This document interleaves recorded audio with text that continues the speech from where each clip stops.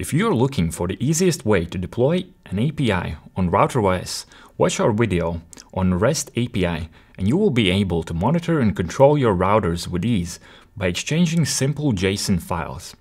However, if you're looking for the fastest, most lean method possible, something you could use in large deployments to exchange data in real time, then forget about REST and get to work with our API. Now, jokes aside, this is just another way for you to create your own solutions in a way you like. Back when I started at MikroTik, there was no REST API, so when I wanted to monitor and interact with our internal network, I had two options, SNMP or API.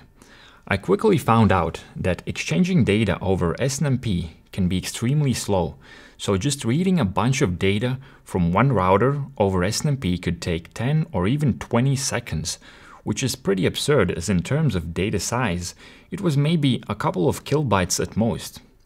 But when I tried API, I found that the exchange was almost immediate. I could set up a simple web interface to monitor an, an, internal network consisting of about 50 routers in real time. That is the power of our API. Now, the downside is that you have to be quite advanced, as you will be working at a pretty low level, literally exchanging bytes of data over a socket. There are some existing libraries out there if you Google around, but whether you use them or not, I hope you are, you are up for a challenge. Let's dive right in. First of all, the API closely follows the syntax of our CLI, so the command content is pretty straightforward. But first, we need to establish a connection, and we also need to understand how to encode and decode our API messages. By default, there are two ports used for API. If you're in a small deployment within a secure network, you might just communicate in plain text over port 8728. But if you need to use encryption, in RouterOS we have a service called API SSL, which by default is using port 8729. This service can establish a connection that is secured using TLS. And by the way, you can do that completely for free by creating a self-signed certificate from within RouterOS. But even if you can't be bothered to set up a certificate, this API SSL service will fall back to establishing encryption using Diffie-Hellman key exchange. Once you have a connection established, the communication takes place by sending words that form a sentence. Sounds familiar, except in our API language, you only send one command word, followed by attribute words if any are necessary, and you terminate the sentence with an empty word. Let me explain. These are not human words we are talking about. Communication of each word starts with the length of the word that you are about to send as a value in bytes, followed by the actual content of the word. As far as I understand, that is mainly a way to ensure integrity of the exchanged messages. Now the content of the command word can actually be an entire CLI command, at least the part that invokes action.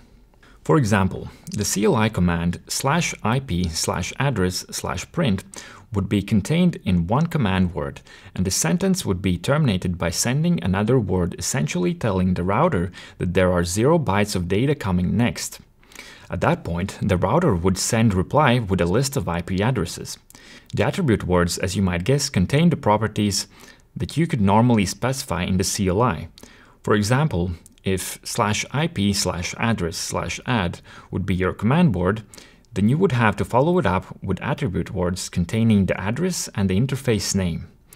While the content of the command word is literally typed the same as the CLI command, each attribute word has to start with an equals sign and another equals sign has to be used to separate the property name from value. So in the case of address add, you could send something like the following two words, equals interface equals ether1 and then equals address equals 10.0.0.1. Whenever you send a command to your router, you will receive what is called a reply word. It starts with an exclamation mark followed by done if your command was accepted or trap if something went wrong.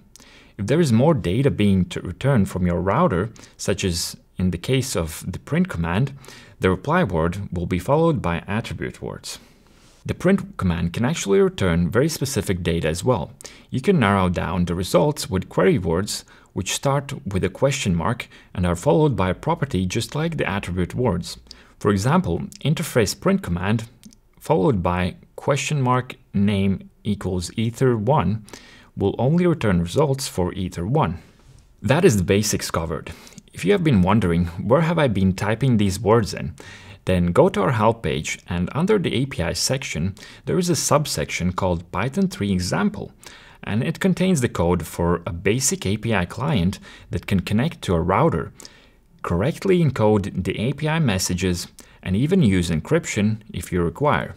Feel free to use and modify that Python code as you please and have a great day.